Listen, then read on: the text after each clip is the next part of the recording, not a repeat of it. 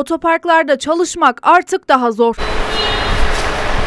Mesleki yeterlilik belgesi olmayanlar bu işi yapamayacak. İş disiplini, müşteri odaklı davranışlar, araçlara özen gösterme, temizlik çalışanların uyacağı kurallardan bazıları. Valeleri de kapsayan düzenlemeye göre iş sağlığı ve güvenliği ön planda tutuldu. Sürücü belgesine sahip olmayanlar vale hizmeti veremeyecek. Çalışan kendi yetki alanı dışına çıkamayacak. Tehlikeli ve acil gördüğü tüm konuları yetkili kişilere bildirecek. Çalışanlara ilk yardım ve temel matematik bilgisi şartı da getirildi. Bu işi yapanların veya yapmak isteyenlerin araç gereç bilgisine sahip olmaları, park etme becerisini gösterirken kurallara uymaları, iş sağlığı ve güvenliği, yangına müdahale konularında bilgi sahibi olmaları gerekiyor.